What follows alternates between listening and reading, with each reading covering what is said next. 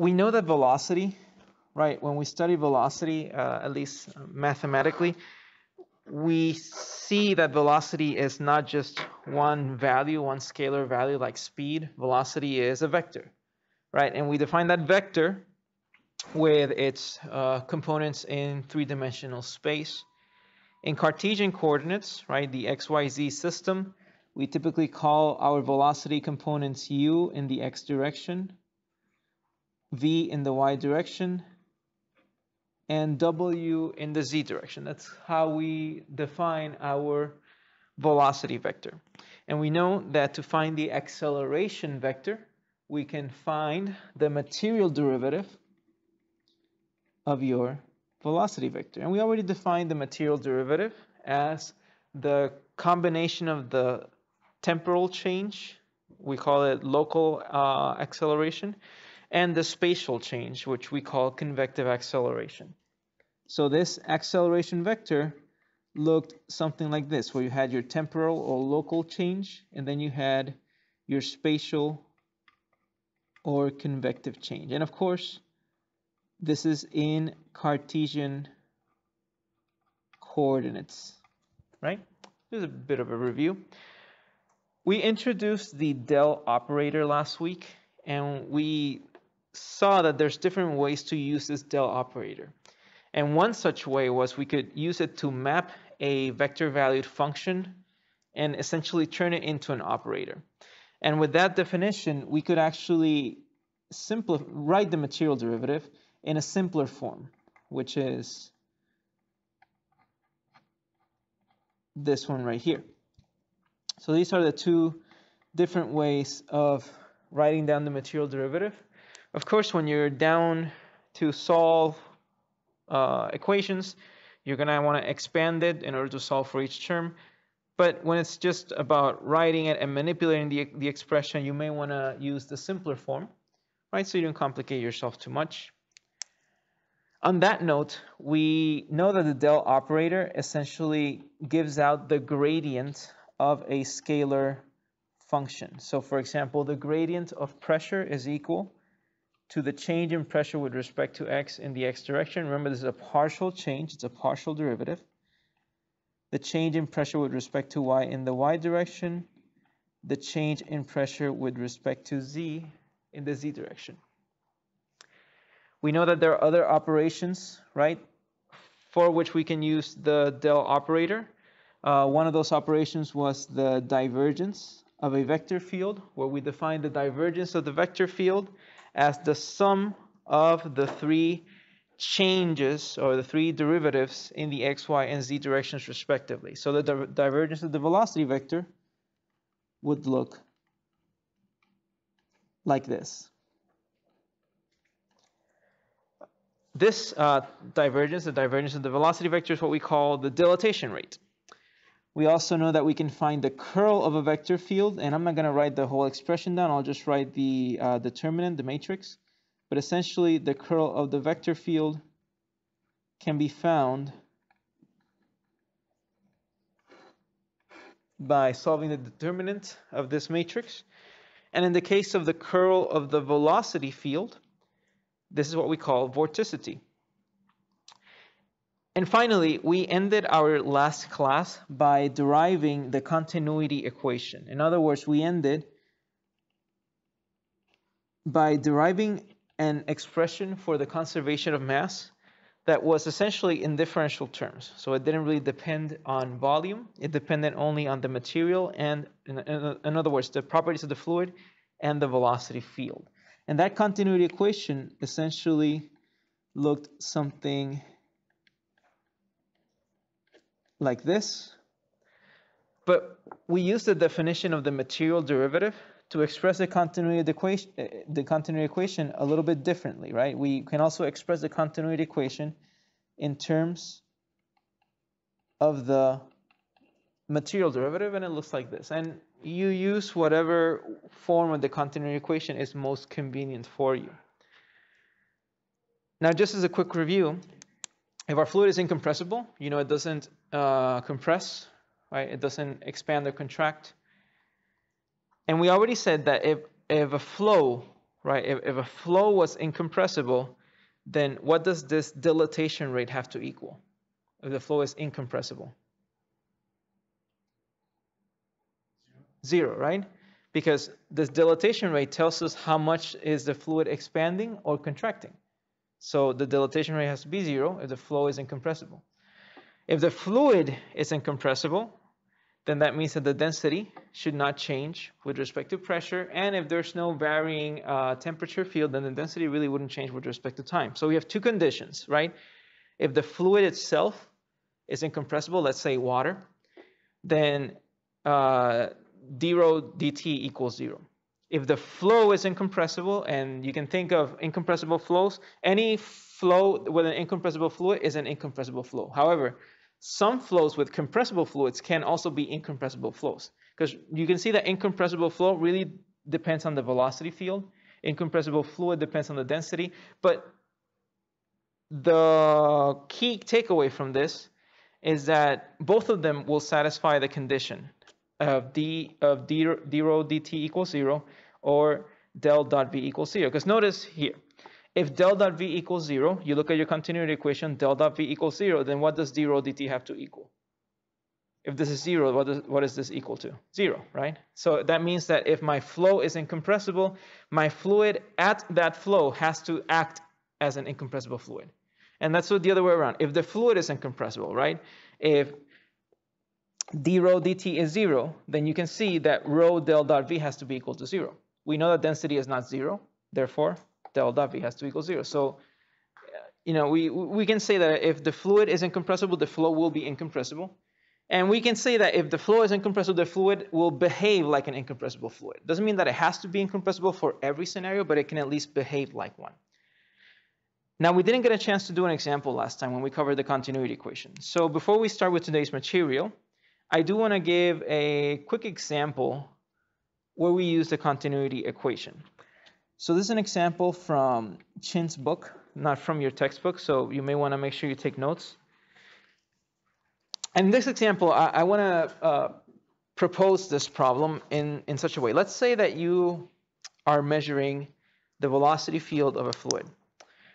Um, how do you think you can measure the velocity field of a fluid? Let's say you, you're either an engineer in industry or you're a researcher who couldn't get a job in industry, so works at a lab, okay?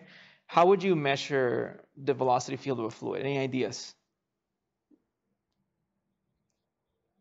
Like I say, Chase, Nikhil, it's your job to give me the velocity field of this flow. And I give you, I don't know, I, I give you a channel and I throw some water on it and I want that velocity field. Any ideas? How do you think? Let's try to be creative here. Get a what?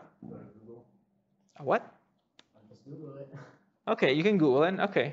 And if you Google experimental methods in fluid mechanics, you're going to get see that one of the most uh, common methods is called PIV, particle image velocimetry. And what that consists of is saying, well, we know from our fluid statics section that if an object is denser than water, it's going to sink, right? If it's less, than, than less dense than water, it's going to float. What if the density of an object is just like the density of water?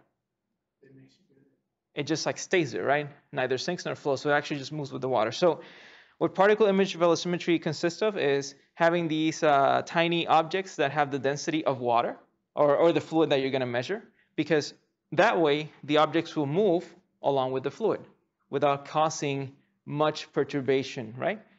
So if you have these objects and you, ha and you have a little specialized dye to them and then you throw a laser at them, then the laser can pinpoint the exact location of the objects, right, at a specific time. So essentially, you throw these little objects, these little spheres that have the same density as the fluid, let's say water, the same density as water. And because they have the same density as water, they will neither sink nor float. They will just remain wherever they, they're at. So when the water moves, the little spheres will move with them. And that's one way of, of, of measuring uh, velocity fields of fluids. Now, let's say that you want to measure the velocity field of a fluid, but you're limited in that you only have data viewed from a top view. In other words, I'm going to say that this is my my volume of flow that I'm measuring, This is my surface of the fluid. Let's say it's a liquid, right? Some, some liquid. However, because you're limited in the equipment you have, let's say that you only you can only visualize, and this is, this is supposed to be an eye, you can only visualize your fluid from the top view, okay? If we're dealing with Cartesian coordinates, I'm just gonna call this my x. So x is normal to the paper, my y, and my z coordinate. So if you can only visualize from the top view, it seems like you're only gonna be able to find, right, the two of those three components of the fluid. So if you have your velocity field, your velocity field consists of an x, a y, a z component. If you can only look at it from the top, so you're standing on top of the fluid looking downward, you can only see, you cannot see any motion to and away from you, but you can see motion, you know, normal to your, to your line of sight. So what two components can you get if you're looking at it from the top? X and Y or U and V, that, that both are correct. So let's say that you already determined that your U component of velocity X behaves in such a way and the V component of velocity behaves in this way, but you don't know the Z component of velocity because you can't really uh, measure precisely any movement to, towards and away from you. Now we know that this is a liquid. I want to call it water, but I feel like we've been using water as our example for the past seven weeks, so it starts to get a little bit boring. So it's a liquid, any liquid. I would like to know what is that z component. And we're going to do this using a differential analysis. Now, remember, when we first introduced differential analysis, we said that whenever we're solving a problem, whenever we're solving an equation, we need to apply initial and boundary conditions. Initial conditions are conditions at time equals zero. In this case, uh, our flow is steady. Notice that there's no variation with time. So we don't really need initial conditions because there's no change with time. However, we do need boundary conditions. So if you look at this system, um, you can tell, right? One boundary condition is that the pressure at the surface is what? Atmospheric, right? However, there's another boundary condition that I think is very important and that we're going to see a lot when we start to derive our equations. And it's called the no penetration condition. The no penetration condition tells us that if your boundary is a solid boundary, so it's not a porous boundary, it's a solid boundary, then fluid cannot penetrate it. Now, if my fluid cannot penetrate the bottom of this channel. Let's call this our boundary. My fluid cannot penetrate it. What is my z component of the velocity here? If it cannot penetrate it, it has to be zero, right?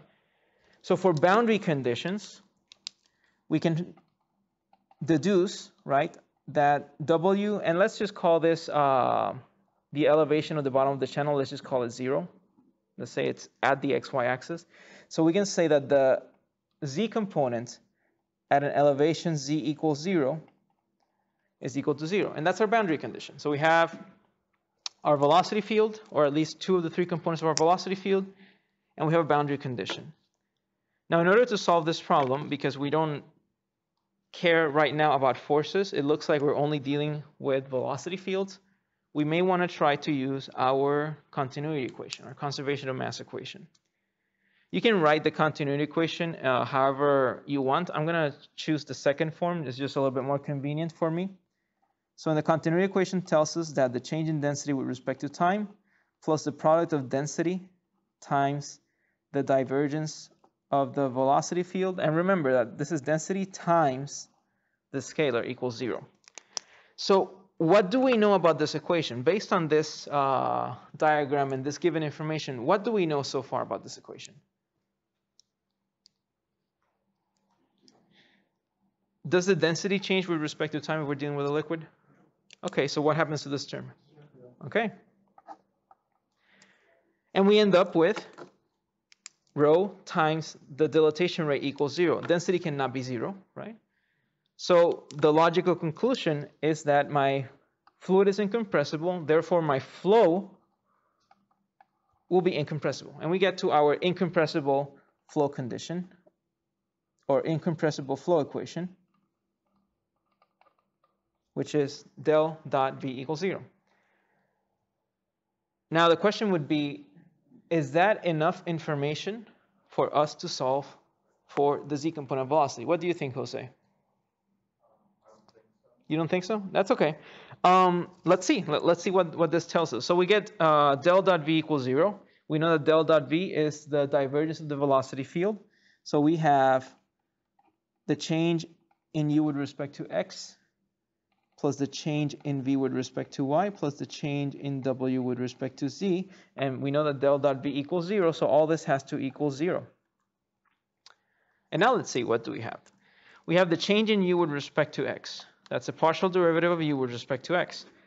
We know the u component, the velocity field, so I'm just going to write it down. Change with respect to x of my u component, which is x squared minus 2y.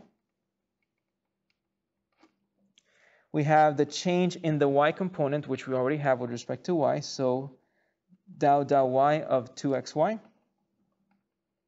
And then we have the change in the z component of velocity, which we don't know. And all that is equal to 0. So I want you to look at what we have so far and, and, and, and answer the question again. Do you think we have enough information to solve for W now? Yeah. Now we do. Okay, good. That's good.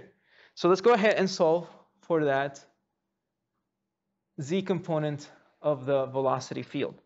Let's start with our partial derivatives. We want the partial derivative of the x component of the velocity with respect to x. That equation is x squared minus 2y. What's the derivative, the partial derivative of that equation with respect to x? 2x. Good. So we get that that partial derivative is equal to 2x. We want the partial derivative of this expression 2xy with respect to y. What's the derivative? 2x. Good. And then we have the partial derivative of z with respect to z, all that equals 0. We can solve for our third term, and we get that dou w dou z equals negative 4x. Remember, this is, this is a partial differential equation, right? A very simple first order partial differential equation. So let's solve this partial differential equation.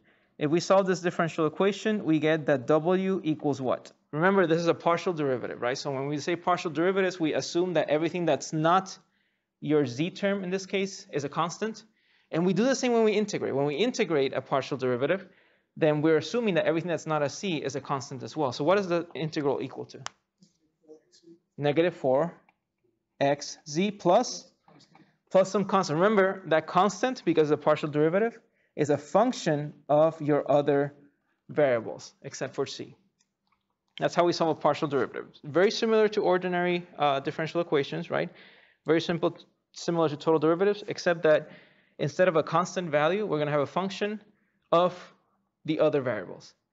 And how do we find that function? We find it by applying our boundary conditions. So let's apply the boundary conditions. We know that when z equals 0, w equals 0, right? So let's apply that boundary condition. We have our equation, w equals negative 4xc plus function of xy. And we know that if z equals 0, w equals 0. So I'm going to write it down. w equals 0. And this equals negative 4x times 0, which is just 0, plus our unknown function. And what does that function equal to then? 0, right? 0 equals 0 plus our function. Therefore, our function has to be equal to 0. And that's good. That means that we don't really have any variation with respect to x and y in terms of that function. So if our function equals 0, we can then express our z component of the velocity field as negative 4xc plus 0, so negative 4xc. And that's how we use this continuity equation, right? In order to uh, solve for the velocity field or fluid. Now this is all a review of the past two weeks but I do want to make sure that we understand how to use the continuity equation before we move on. So are there any questions with this material? No? Any questions with solving partial differential equations? Do you understand why we are using a function instead of a constant, which we would normally have a constant? No questions or you don't understand?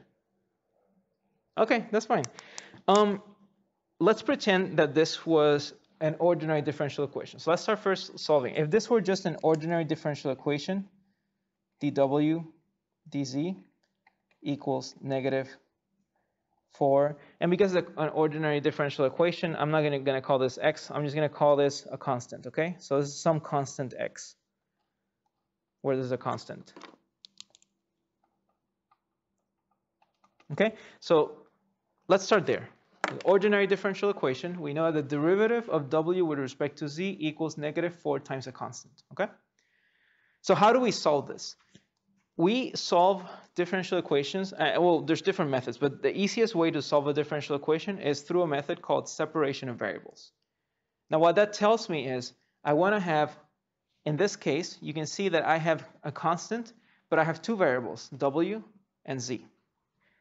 So I want to make sure that all my w's are on one side of the equation, all my z's are on the other side of the equation, okay?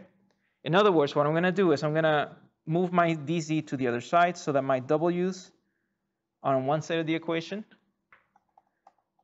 and my z's are on the other side of the equation, right? You have an equation now that consists of two infinitesimally small elements. So what you do is you integrate both sides. Now, what's the integral of dw? Just w, right? w plus a constant, but let's just call it w for now.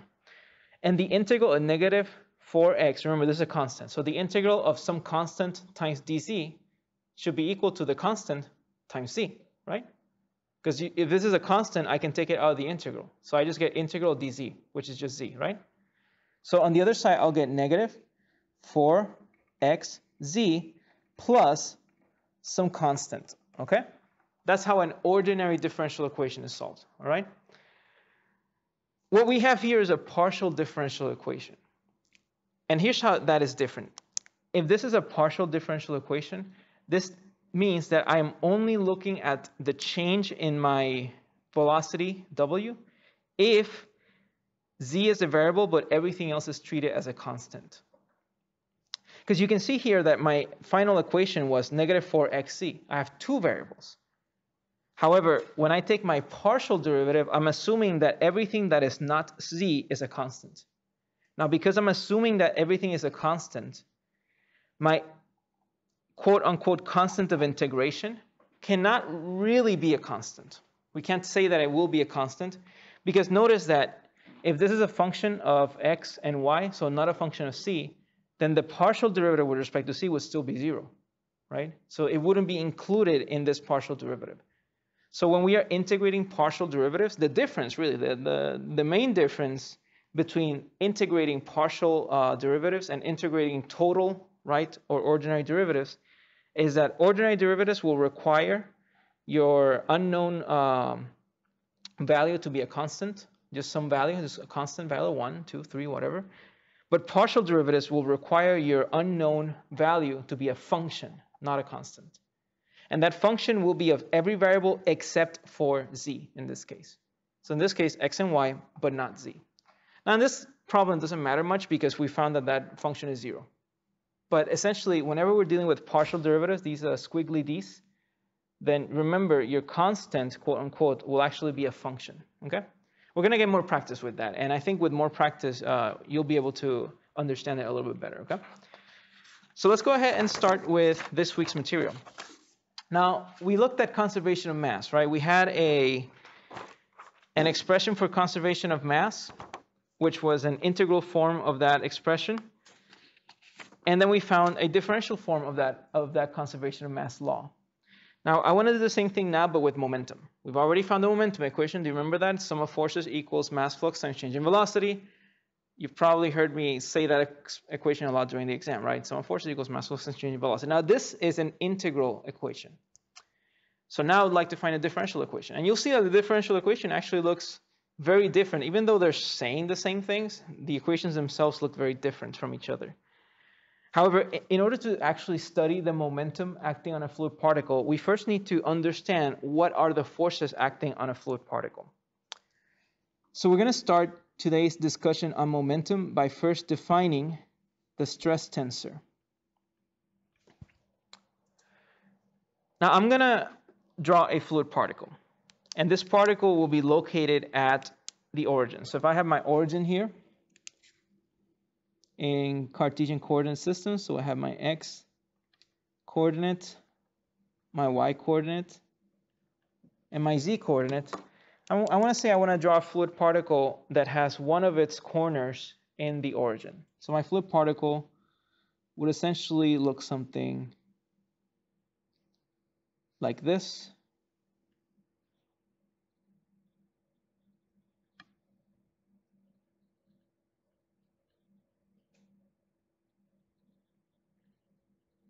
So this is my fluid particle. One of the corners is on the origin. The origin has coordinates of 0, 0, 0. Doesn't look like a cube, but picture it as a cube, an actual cube, okay? The forces that I apply on this particle will be translated or studied as stresses. Now, we already dealt with stresses before. You may remember when we solved or we derive the energy equation, we had a little bit of a discussion of stress, right? I think I wrote it on the board. We said that we're going to treat stresses as two different components, a normal stress and a shear stress or tangential stress. And we're going to do the same thing here. We're going to say that any stress that acts on this fluid particle is going to have a normal component, but also a shear component. The normal component is normal, right, orthogonal perpendicular to the wall of the fluid particle, and then the shear component will be tangent to the wall of the fluid particle. Now, because we're dealing in three dimensions, that shear component can be subdivided into its um, rectangular coordinates, right? So that we can always have a, a component for stress in the x direction, a component for stress in the y direction, a component for stress in the z direction. So let's look at what those stresses look like. I know that this is my x-axis, my y-axis, and my z-axis. And in order to identify the faces on this fluid particle, I'm going to give them names, x, y, and z as well. Remember, when we talked about areas, we said that an area vector points normal to the area. And we're going to do the same thing here. The area vector for this face is actually pointing normal, right, orthogonal to that face. So in which direction is the area vector for this face pointing? X, Y, or Z? Normal? Yeah. X. X direction, that's correct. So the area vector for this face is pointing in the X direction. So this face will be my X face. I'm just going to call it X. In which direction is the area vector? Remember, the normal vector for this face pointing? Y. All right, so this will be my Y face. And what about this face? Z. So this will be my z face. On the other sides, I'm going to have my negative x, negative y, and negative z faces, but I'm not going to write those down because it's going to become a little bit too confusing if I just write everything down, okay?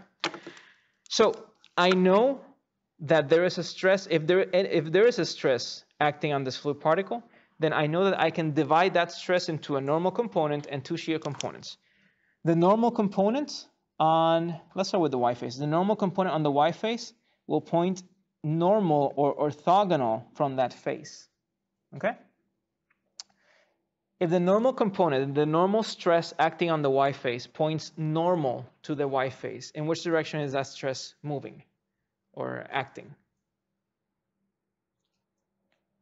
In the y direction, right? It's normal orthogonal to your face, so it has to be in the y direction. Okay, so this will be a stress in the y direction.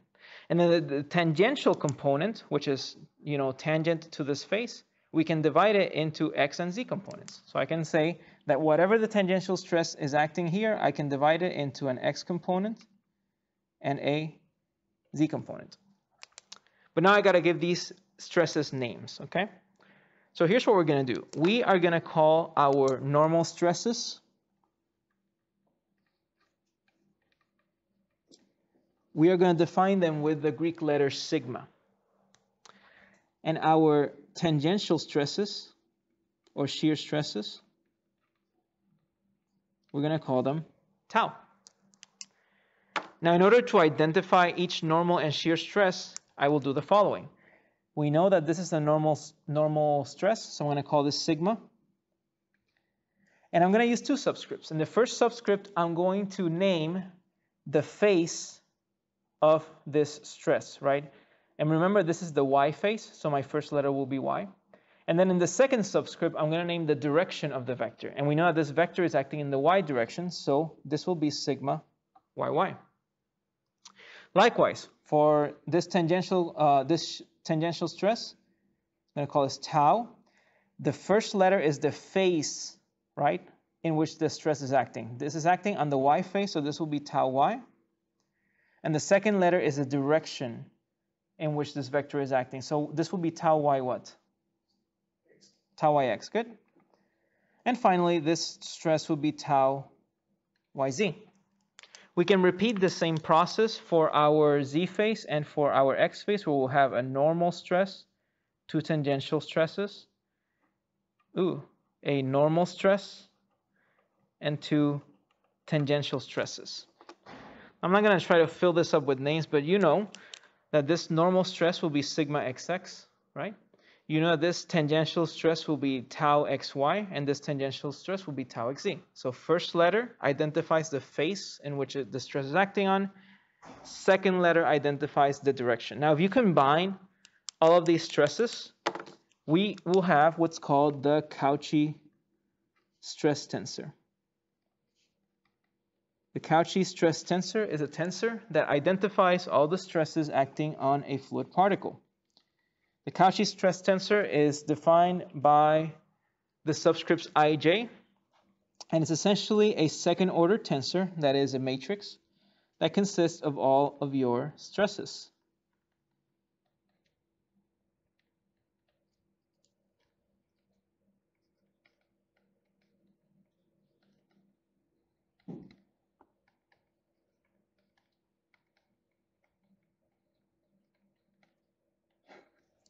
So we have our nine stresses in this Cauchy stress tensor. These uh, subscripts will help us identify right, each of these elements within the stress tensor. So for example, I can say uh, tau xy. So you know that you can go to the x row and find the y column, and you get your tau xy, whatever number that is, right? I can say tau yy, so I know I have to go to my y row and my y column, and I'll get my normal stress at that location. Now we haven't dealt with stresses before. I don't think you have in your math, uh, tensors before. I don't think you have in your math classes, but it's not that complicated. A tensor, right? It's essentially this uh, value, right, that consists of multiple values.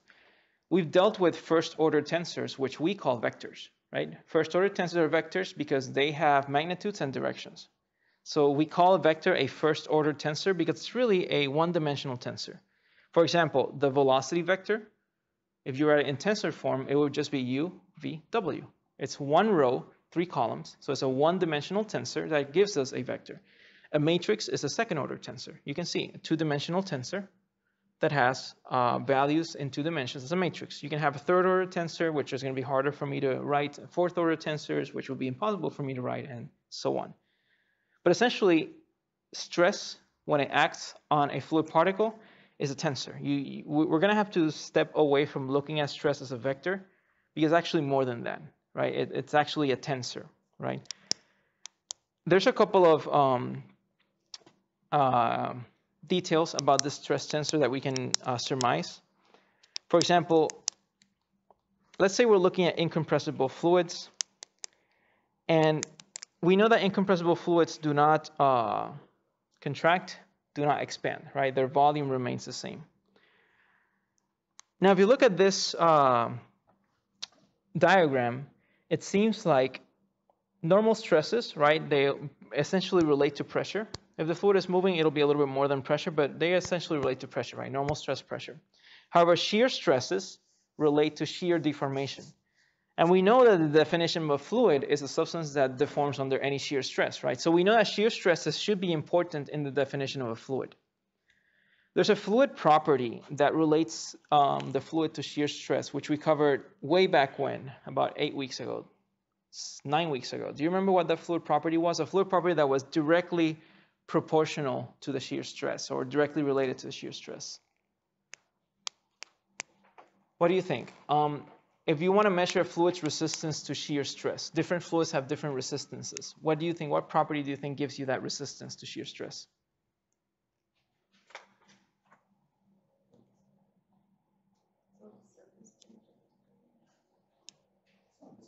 Viscosity.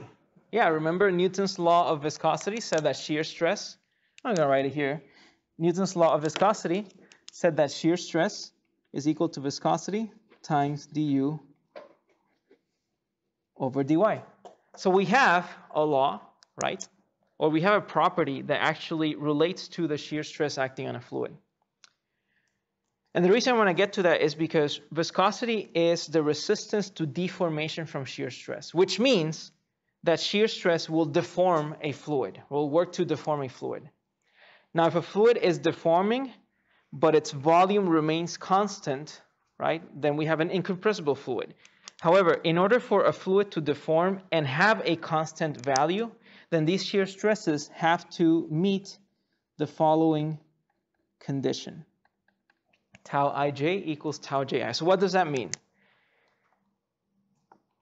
Whatever subscripts I use, for example, tau xy, has to be equal to the shear stress with the inverted subscript, so tau yx. In other words, for a fluid to be incompressible, tau xy and tau yx have to be the same.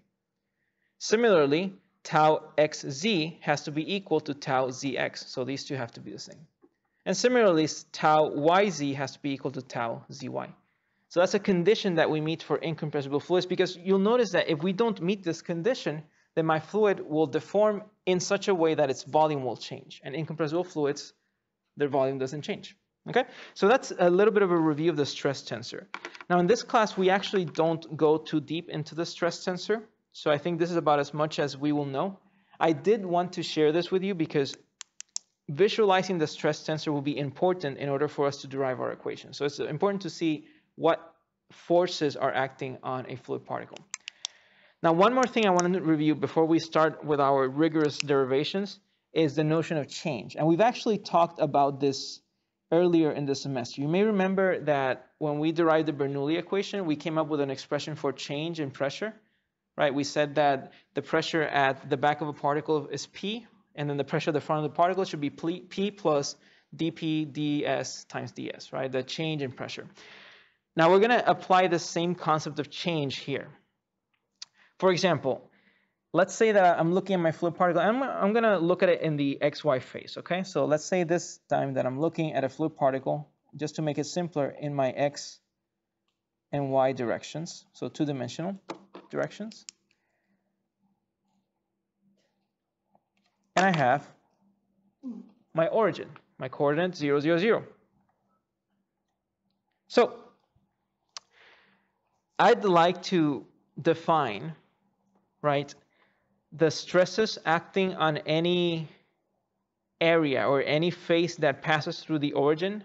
I'm going to define those stresses with these names. In other words, the stress here will be a stress acting on the x face, right? The normal stress will be a stress acting on the x face in the x direction. So I'm going to call the normal stress here sigma xx. And the reason I am doing this is because I would like to come up with an expression for the stress acting on the other face of my fluid particle. Now, if we give this particle dimensions, I'm going to say that this dimension is dx, this dimension is dy. Then I would like to come up with an expression for the stress acting on this face of the particle as a function of this stress. So we know that from my point 0, my x equals 0, to my point dx, the stress has to change by a value of d sigma over dx. Because we're moving in the x direction, the change has to occur in the x direction. So what that means is that the stress on this face, and we did this with pressure, we're just repeating the same process, but with stress, will be equal to sigma xx plus however much my stress changed with respect to the x direction but remember, this is just a change, right? This is just the rate of change. If we want the total change, we multiply the rate of change, which is your slope, times the amount of change that you had. And in this case, moving from the origin to this face, how much do you move in the x direction? If you move from the origin to this face? dx, okay. So I have an expression for change, and I'm going to use that expression for all of it. I'm not just for the normal stresses, I'm going to use for the shear stresses in every face. But I wanted to make sure that we're clear on the idea of change, right? If we define our faces that touch the origin as this stress tensor, then the faces that do not do not touch the origin will have this expression: the initial stress plus the change in stress with respect to a distance times that distance. We're going to do this in the x direction, in the y direction, and in the z direction. And we're going to do this to derive our momentum equation in differential form. So get your notes ready. Make sure your pens have ink or your pencils have um, lead. What? Lead. lead. Okay. Make sure your pens have ink and your pencils have lead because we're going to write or derive some pretty interesting equations here. So let's start with the equations of motion. These uh, equations of motion relate the movement of a fluid particle to the forces acting on that fluid particle. Sometimes they're called the Cauchy equations of motion. You'll notice that they don't just apply to fluids, they actually apply to anything that moves, right? Bless you. But we're going to uh, focus our study on fluids, which we know cannot resist any shear stress movement. Let's study a tiny fluid particle. You, you know the drill, tiny, tiny fluid particle with dimensions dx, dy, dz. If the dimensions of this tiny fluid particle are dx, dy, dz, what is the volume of that particle? dx, dy, dz, that's correct. What is the mass of that particle?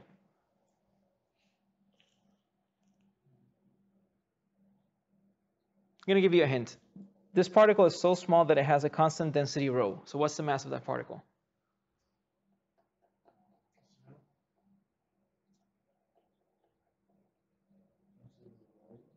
What? Density times volume, right? Because density is mass over volume, therefore mass is density times volume. So the mass will be density times volume, but we already know that the volume is dx, dy, dz. This particle is part of a larger body of fluid. We know that because it's part of a larger body of fluid, it's going to have all of these stresses acting on it. These are what we call impact stresses, right? So stresses that require contact. So contact with its environment produces the stresses in the stress tensor. But what other forces are acting on this fluid particle? Gravity, Gravity right? A body force, or any body forces, right? So any forces that are dependent on the mass of the fluid particle, which are called body forces, have to be considered as well. Now, the most common body force that we will use is gravity. We typically don't deal with electromagnetic forces yet in this course. However, I don't want to just sidewind you a couple of weeks from now and say, hey, here's another force you know. So I want to make it clear that when I'm studying gravity, that's just one of the many possible body forces, okay? It's just that here on Earth, that's the one that we experience the most, so it's the one that we're going to include. So we know that there's a gravitational force acting on this particle. That gravitational force is commonly called its weight, and we know that its weight is equal to the mass of the particle times a gravitational acceleration vector.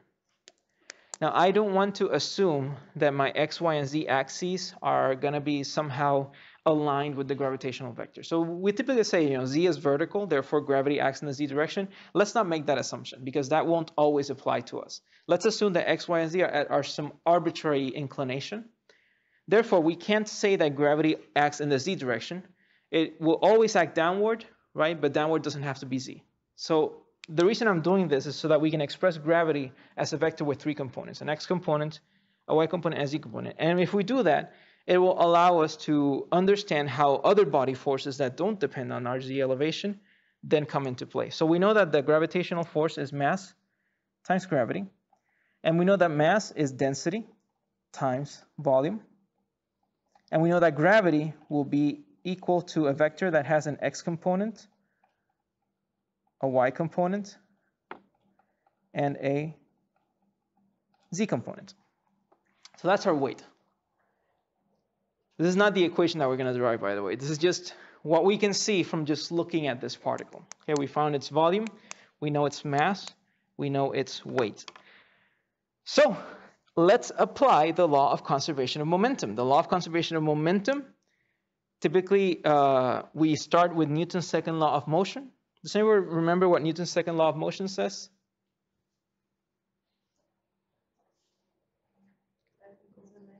Okay, thank you. I was hoping that somebody would remember it. Yeah, forces, sum of forces in a body equal mass times acceleration, or the change in momentum with respect to time. This particle has a constant mass m, right? So Newton's second law of motion, which says that sum of forces equals change in momentum with respect to time. If my particle has a constant mass, I can take mass out of this derivative, and I get mass times dv over dt, and we know that this is equal to mass times acceleration. And that's Newton's second law as we have learned it in our introductory physics classes, right? F equals ma. So let's apply this law into this uh, particle. The, this law deals with vectors, right? We, we have vectors here. Um, so let's try to simplify it. We know that this law can be broken down into three components. An x component, which I'm going to write as mass times acceleration in the x direction equals sum of forces in the x direction. A y component, and a z component. So we can, we can break down this equation into its three components and just deal with one component. That way we're not, we don't have such a long equation, such a long derivation. So let's start by trying to come up with an equation that gives us Newton's second law of motion, but only in the x direction, okay? So in the x direction, we have mass times acceleration of my fluid particle equals the sum of forces acting on the fluid particle. What was the mass of the fluid particle that we uh, came up with? Thank you. Rho dx dy dz. Now we're looking at an acceleration. However, our purpose is always to relate everything to the velocity field. So how can we relate this acceleration to the velocity of the particle? How is acceleration related to velocity? Yeah, derivative of velocity with respect to time, right? So we know that acceleration, and I guess I'll have to write it down here. We know that acceleration is dv dt. And in this case, we're only looking at the acceleration in the x direction, which means that we only want the derivative of the velocity in the x direction, which we call u. So mass times acceleration in the x direction equals rho dx dy dz, derivative of u with respect to time. Up to this point, right, we have the left side of the equation done. Are there any questions on how we got to this these values? All right, so now let's go to the hard part. Sum of forces. Let's consider all the forces acting on this fluid particle in the x direction. And I'll show you the stress tensor just so you may remember out of these nine forces, there's uh, 18 in total, right? But out of these nine stresses, the ones that we can actually see here, which ones are acting in the x direction?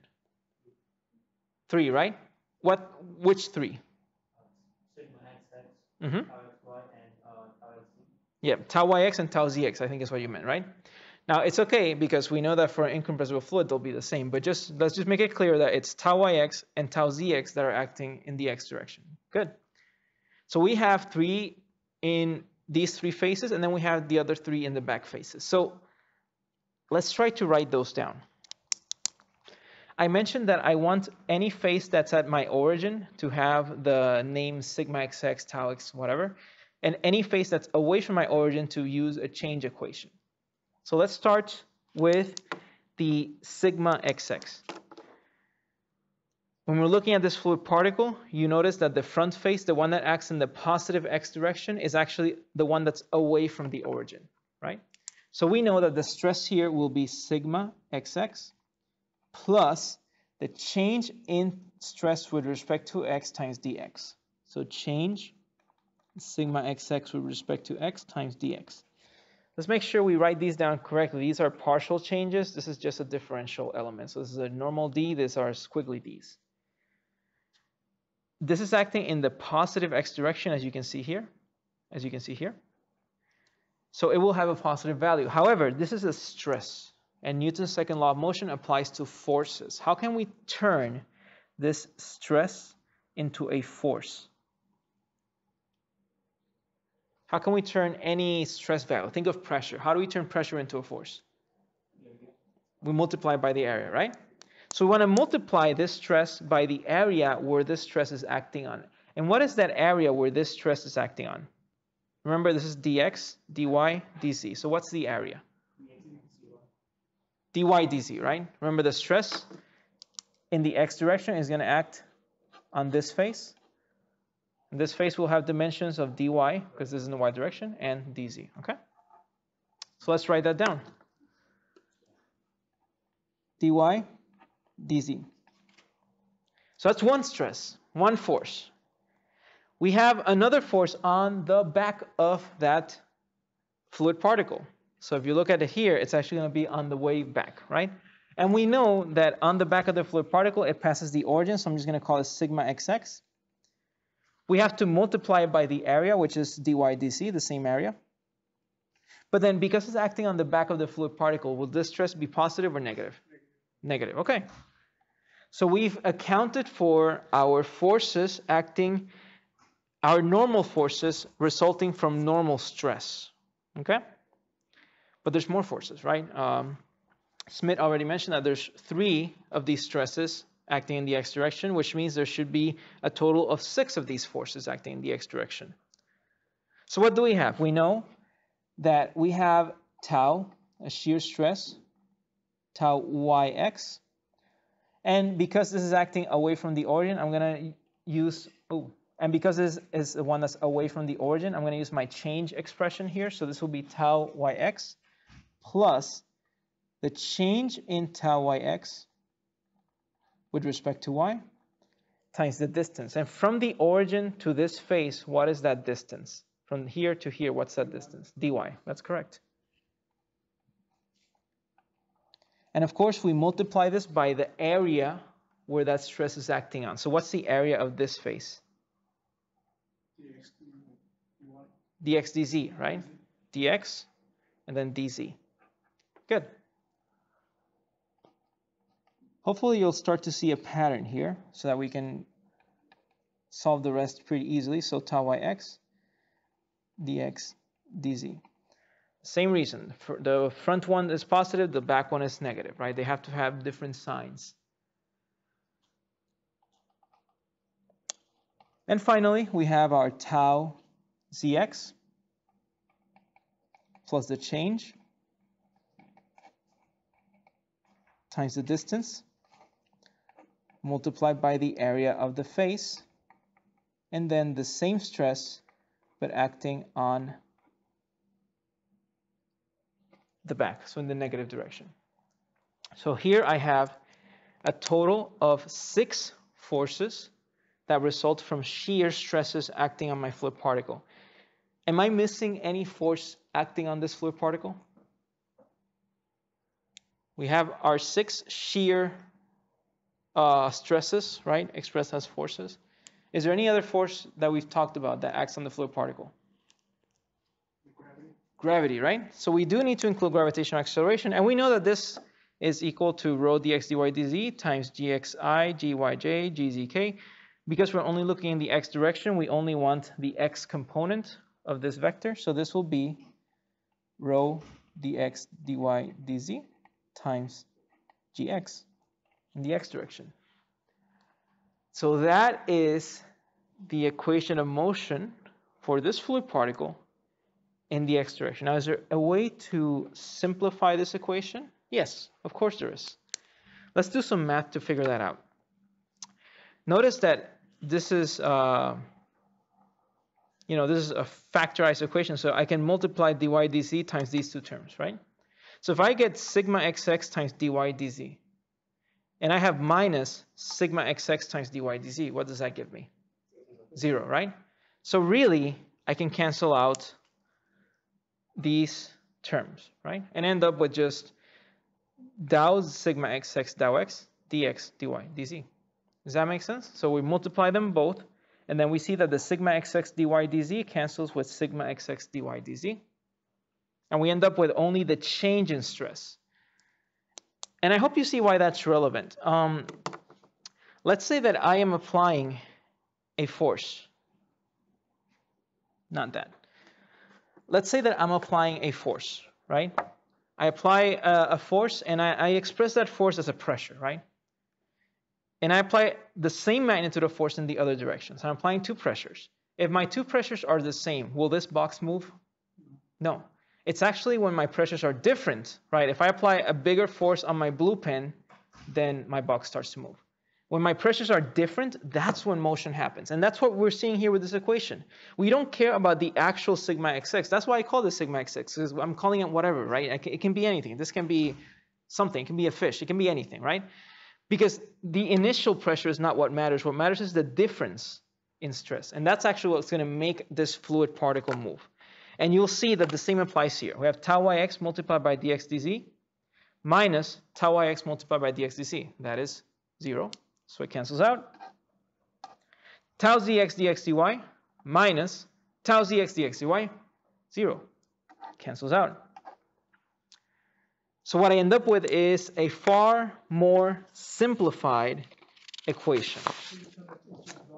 Sorry?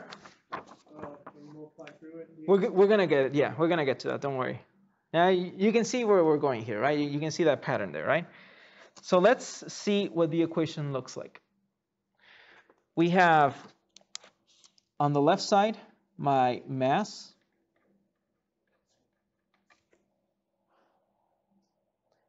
times my acceleration.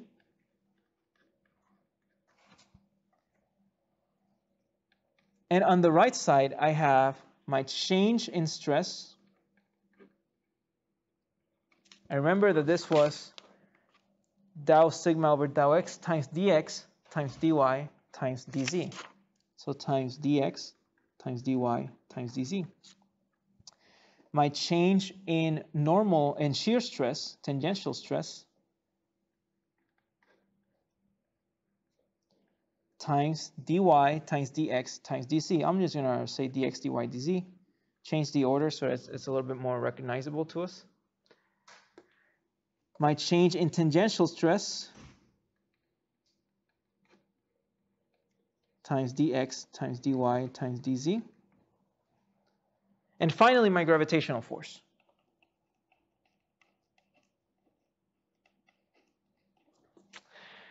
We derive these differential forms, this, these differential equations, we derive them so that we can express these equations independent of the geometry of your fluid particle, of your control volume. In other words, we don't want to deal with the size and the geometry of my control volume. So what can we cancel out of this expression in order to not have to deal with our geometry? Uh, the, volume. the volume, right? Because the volume, if we cancel it out, then whatever equation we get will apply to any fluid particle of any size, regardless of that volume. So if we divide both sides by the volume, notice that dividing this by dx dy dz, we divide this by dx dy dz, dx dy dz, dx dy dz, dx dy dz.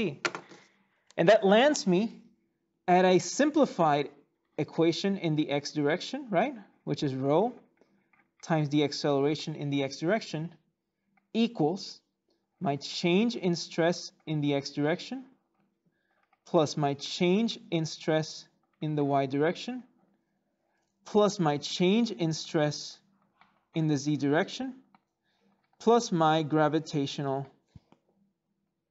force. And this is what we call the Cauchy equation of motion for the x direction. We can repeat the same process for the y and for the z directions and land at pretty much the same equations. Okay? So I'm going to write down what those equations look like. We're not going to do the derivation again. You can just see it here.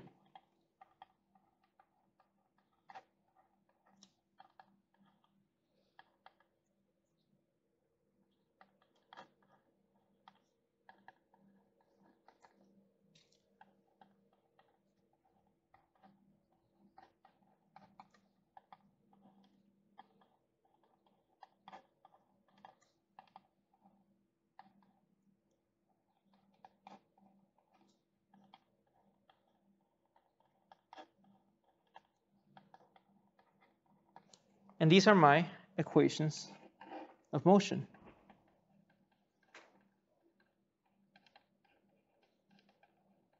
You can see that from a simple or simplish analysis of Newton's second law, we end up with what looks like somewhat of a complex equation that governs the motion of a fluid particle. And it does so by relating the velocity field of that fluid particle to the forces and stresses acting on that fluid particle. Up to this point, are there any questions of how we arrived at these equations of motion or what these terms actually represent? Is the order of that term is, is important? Can you say that again? Is the order of the term is important? You know, like, I, I just like to write it this way okay. just so that it matches my stress tensor. okay. That, that's all. That's just all it is. So in in this case, where's my where did my paper go? Oh, here we go. Um, I wrote my stress tensor in this way, yeah. so I want to make sure that they kind of match the same. That's just a personal preference on, on my end. Any any other questions? All right. Before we finish today, we still have about a uh, little bit over 10 minutes. Let's see if we can use these equations of motion to actually derive an equation that we can actually use. Okay, so these are the equations of motion. They're very general. They apply to any fluid particle experiencing any type of stress. But let's try to look at a specific right type of flow. Does anybody remember Euler's equation that we derived in class several weeks ago? It was an equation that related a change in pressure with changes in velocity and changes in elevation. Now, when we derived that equation, we essentially used a, an integral formulation to come up with the equation. And that was great, but that left us with an equation that essentially only exists or can only be used in terms of differences, right? Differences in elevations, differences in velocities, differences in pressure. So what I would like for us to do today is to derive this Euler's equation using the Cauchy equations of motion. And you'll see that we're going to land at what looks like a much more clean equation, but that still relates everything to changes in velocity, changes in pressure, changes in elevation. So let's derive Euler's equation. Now, Euler's equation was an equation for ideal fluids, right? So if you had an ideal fluid, you may recall that ideal fluids were those that we described as incompressible. That is, no change in density with respect to pressure. And also inviscid. That is, no viscous effects. So we're going to try to derive a form of Euler's equation for an ideal fluid using these equations of motion. When we're doing this, um, I would recommend that we start with our stress tensor and see what that looks like. So just as a recap, my stress tensor essentially consisted of my stresses, both normal and tangential, acting on a fluid particle. You don't have to write this again. I'm just writing it here for reference.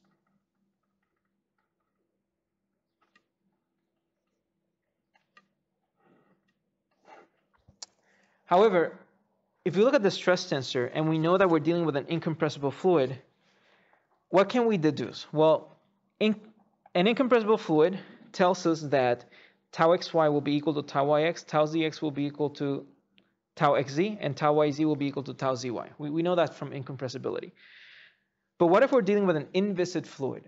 An inviscid fluid is a fluid that has no viscosity.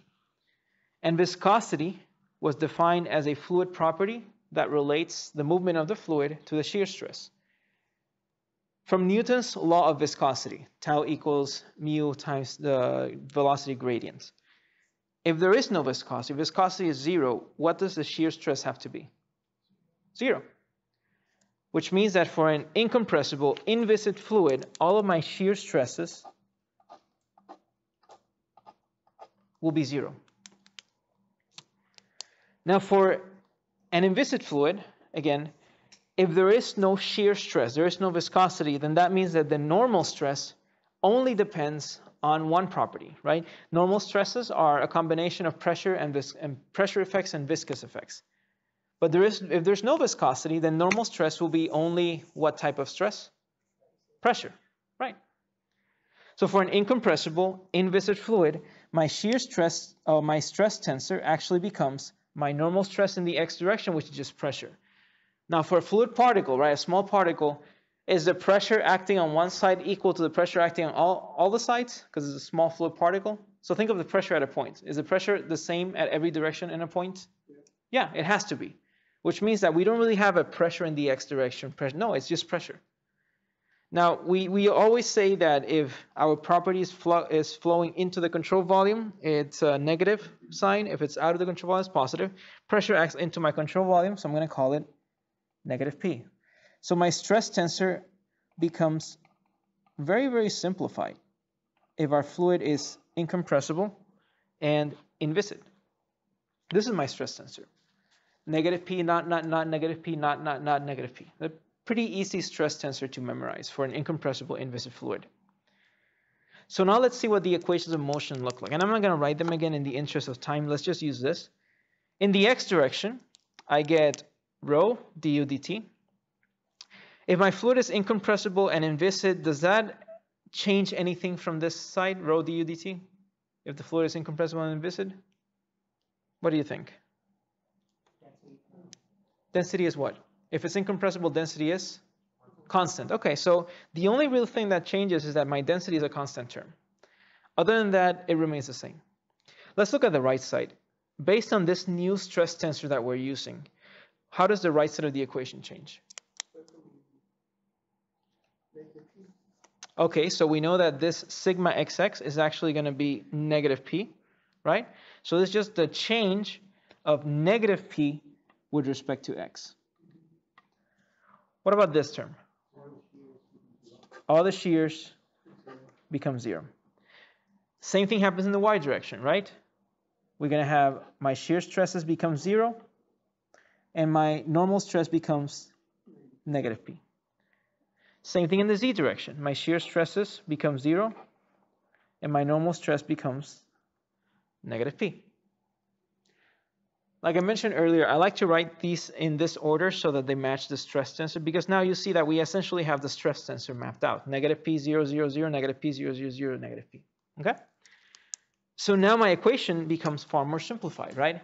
In the x direction, I have rho du dt equals, I'm going to factor out that negative 1 because it's a constant. So negative, exactly, change in pressure with respect to x. This is 0, this is 0, and then I have my gravitational force.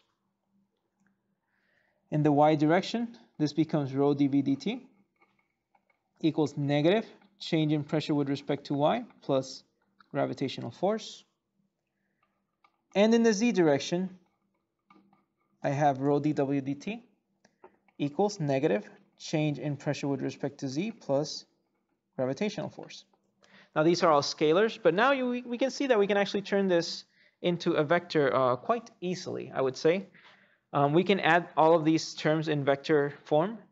So in vector form, I can have rho du dt, this is in the x direction, so I want to multiply it by my i vector, plus rho dv dt, j component, plus rho dw dt, k unit vector, equals, and I have the same thing on the other side. I have negative change in pressure with respect to x in the x direction, in the y direction, in the z direction, in the x direction, in the y direction, in the z direction. And finally, I can factor some things out, right? Here I have rho ddt, right? It's an operator, so I can factor out the density and the operator, and this just gives me rho d over dt of ui plus vj plus wk. All this equals, I'm going to factor out my negative 1 here, just so that I don't have all these uh, subtraction signs. So I get negative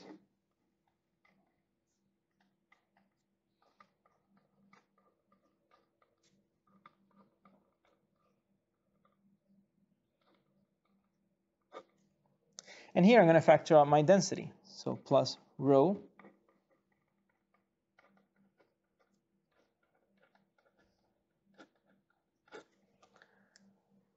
And finally, one more change. What is ui plus vj plus wk? What does that represent? The velocity vector, right? So this is actually just density times the material derivative of the velocity vector with respect to time equals, we have the partial change of a scalar field in the x direction, the partial change of a scalar field in the y direction, partial change of the z direction. What, what was this called? Gradient. The gradient, right? So I have negative, the gradient of my pressure field.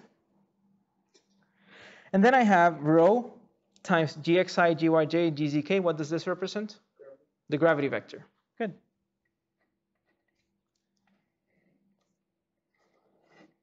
So finally, after some minor manipulation, we have arrived at Euler's equation in differential form.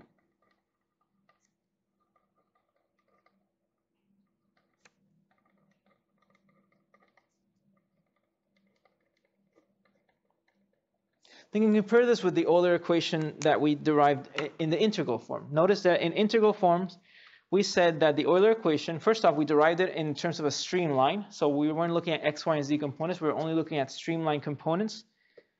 But then we found that the Euler equation in integral form was a function of a change in pressure, which is what we have here, a change in elevation, which is what we have here, and a change in velocity, which is what we have here. So essentially, what this tells us is that we can actually use Euler's equation, but not limit ourselves to streamwise coordinates, because this equation actually applies to Cartesian coordinates. And we don't have enough time to actually work on an example using Euler's equation today, so I'm going to stop class here, and we'll continue this topic on Thursday.